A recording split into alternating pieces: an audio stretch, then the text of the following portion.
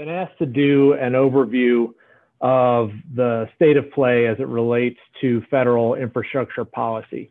And as I go through this um, policy uh, overview, again, feel free to ask any questions in the chat function if you want. We can either do that uh, probably best at the end of the um, at the end of the presentation, but uh, certainly we can go from there.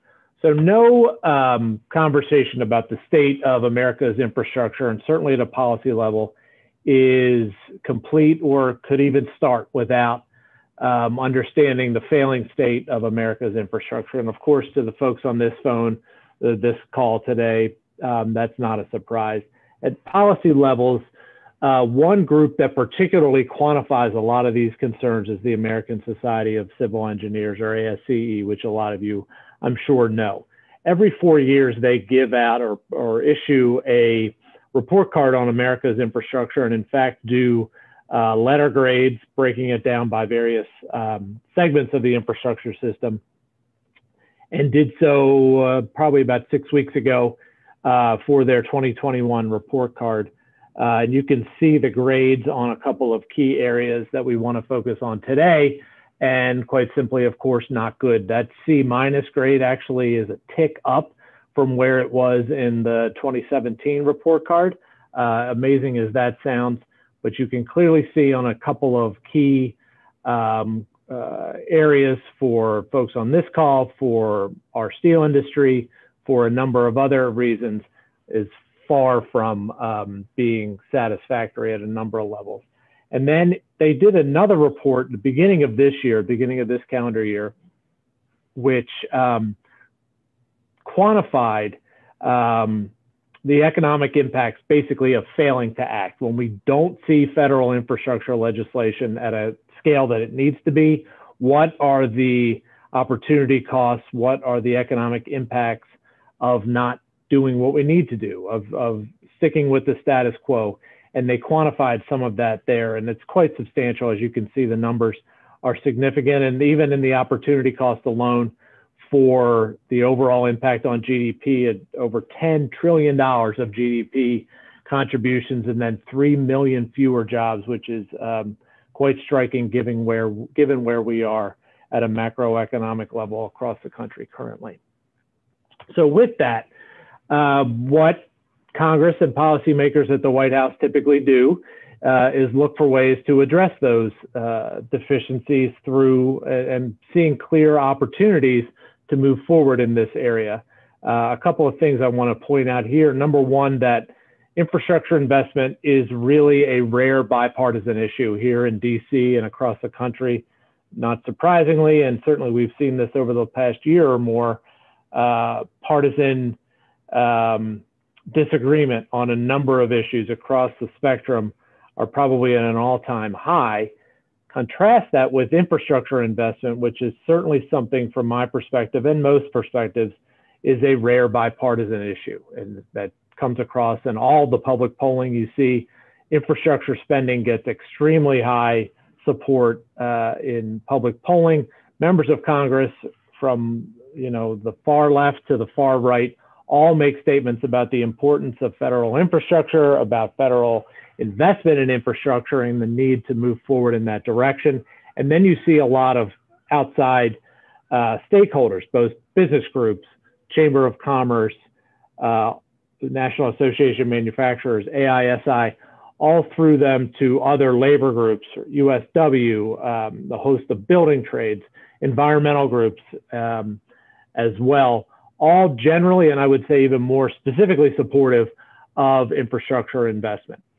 So what does that mean? It also points out that there are key deadlines approaching and Congress often um, works or acts or doesn't work um, when spurred by deadlines. And so we are seeing now over the next year, uh, perhaps even less, some key deadlines approaching. Number one, the key surface transportation authorizations will expire at the end of September this year. That's for the Highway Trust Fund, a number of other key programs uh, for federal infrastructure investments. And then the Highway Trust Fund, as I mentioned before, um, is slated to be insolvent at some point in fiscal year 2022. Graphic indication of that on this slide here. And you can see in the middle when outlays and revenues are going to um, are going to flip. Um, so this is the Highway Trust Fund is quite simply the amount of money that comes in for every gallon of gasoline that anyone purchases. 18.4 cents of that goes to the Highway Trust Fund, and that from its beginning was slated to keep that trust fund going in perpetuity. Now we see cars driving a lot less, number one. Number two, cars getting a lot more mileage per gallon, obviously, than electric vehicles, et cetera. Um, we're seeing less and less revenues into the trust fund at the same time the outlays continue to increase. So what we are seeing here is that inflection point coming up in FY22. Uh, last year, fiscal 20, we would have had a similar point, but instead there was a transfer in um, uh, October, no, I'm sorry, September of last year, 2020, that transferred funds from the federal general fund over to the highway trust fund to push down the line this inflection point. That may happen again coming up next year, but it remains to be seen exactly what's going to happen there. So, because of that, we've seen a number of all these factors. We've seen a number of key policy plans put forward in recent weeks. Number one being the president, President Biden's American Jobs Plan, which he rolled out in Pittsburgh uh, not too long ago, uh, calling for spending two and a quarter uh, trillion dollars over an eight-year standpoint, and you can see graphically how that breaks down uh, from your traditional transportation utilizations on the 621 billion. I'll talk about that more uh, in a minute. to um, uh, manufacturing, to schools and water, all of those items, all the way down through to workforce development. Quite a substantial size plan. Delving a little bit deeper into the surface transportation funding, you can see here not only does this would this go to be spent on bridges, highways, and roads, things like that, which are your traditional uses of transportation infrastructure at a federal level. Public transit, obviously Amtrak, this concept of infrastructure resilience um, in the um, the current um, state of of severe weather, other impacts from climate change. Uh, and I also want to point out the issue or the, the purposes, stated purposes of electric vehicles, which is obviously a top priority for the president, for the administration, for a number of stakeholders, um, and something that if this plan were to move forward, would have a substantial amount of money to build out um, not only electric vehicles themselves, but charging stations and a network of infrastructure around how to fuel vehicles through the electric grid. Um, and then moving on, I shouldn't uh, skip over waterways and ports, which is important for our industry and, and a lot of other stakeholders as well. But you can see there, this is a pretty vast and substantial plan. How does that get paid for? So what the president has proposed here um, is to over 15 years, not the eight years that the increased spending would go for, but over 15 to raise about $2 trillion in taxes. the primary ways in which to do that would be to change the corporate income tax level and uh, increasingly tax offshore earnings. So going back on and changing some of the changes to the tax code that was made in the Trump administration in 2017 um, to raise revenue that way. And this has gotten a substantial amount of pushback, of course, from the business community and other stakeholders as well. But it's important to recognize that's what the that's what the administration, that's what the president is talking about and the plan that they've put forward. On the flip side of that coin, Senate Republicans released a framework a couple of weeks ago that was a much more substantial, uh, much more tailored and focused um, plan for for your traditional uses of infrastructure. So again, roads and bridges and broadband and public transit, all of those uses uh, utilization programs that were included partially in the Biden plan, but again, none of the non traditional aspects of that plan. And most importantly, here at the bottom, the Republicans not calling for any changes to the tax code to pay for um, to pay for those infrastructure purposes using existing funding mechanisms to get there.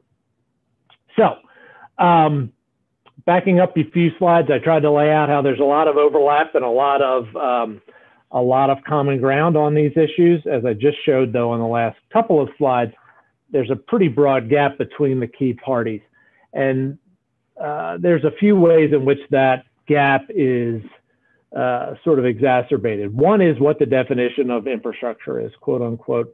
You ask anybody probably on this call what that means at a federal level, in, in particular, you're going to get different answers. I think traditionally you would get that first sub bullet roads, bridges, transit, airports, water projects as pretty mainly focusing on what infrastructure really is. Perhaps you expand that a bit more in your definition to schools and broadband and build out of the electric grid, shoring up the electric grid from a from a security standpoint uh, would probably be in there as well. What we're we're seeing more now is, is the administration is pushing the infrastructure definition to be expanded into areas like housing and elder care, workforce development, and other uses in manufacturing too. I should include that. Is that's not traditionally been defined as infrastructure at a federal level. So that is a, a, uh, very much a disagreement between the two parties on that. I mentioned before the financing, how you pay for all of this.